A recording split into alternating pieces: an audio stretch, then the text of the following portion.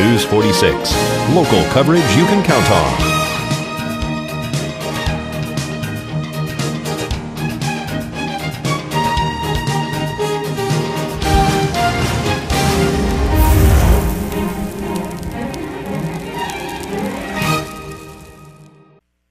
This is how we do it. This is Steve. Did his taxes at Jackson Hewitt and just found out how much he'll be getting back this year. Boy, is he happy there in the neighborhood. Want to feel as excited as Steve at tax time? Jackson Hewitt's How You Do It. Meet with one of our neighborhood tax pros today to estimate your refund free.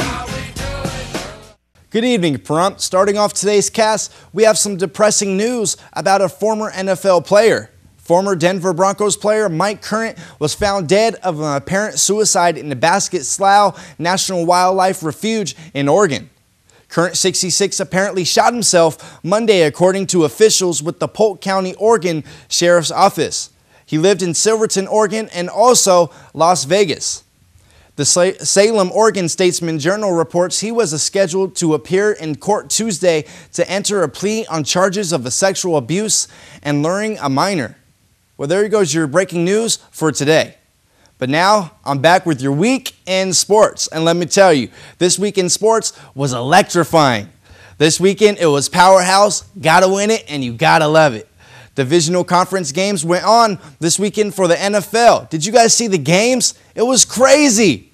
On Saturday, San Francisco 49ers and New Orleans Saints went head to head, and as well as the Denver Broncos and the New England Patriots. And on Sunday, it was the Baltimore Ravens and the Houston Texans. And also playing was the New York Giants and the Green Bay Packers on Sunday as well. Let me tell you, these games were bittersweet. The Niners and the Saints game was probably the best game I've seen in a long time. It was neck and neck throughout the whole game. The Giants stunned the defending Super Bowl champion Packers on Sunday to give San Francisco the home field. The 49ers are one victory from their first Super Bowl since capturing the franchise's fifth championship after the 1994 season. Alex Davis hit Davis for a 47 yard completion on a cross to the left sideline with three, 31 seconds left on Saturday. Then again for the game winning score from 14 yards, on which Davis ran over safety Roman Harper to cross the goal line on the way to a 36 32 win. The play was called Vernon Post. Tears streamed down Davis' face, and he fell into the arms of the first year coach Jim Harbaugh after the victory in San Francisco's first playoff game in nine years. Davis, who also had a 49 yard touchdown reception in the first quarter, finished with seven catches for 180 yards, the most yards receiving by a tight end in a playoff game. Davis, in many people's eyes, was the player of the game. This tight end is definitely a go to player.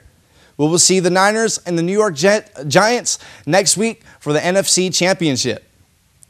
I don't know if some of you have been sick lately, maybe had a fever. I've had a fever, and it's called Tebow fever.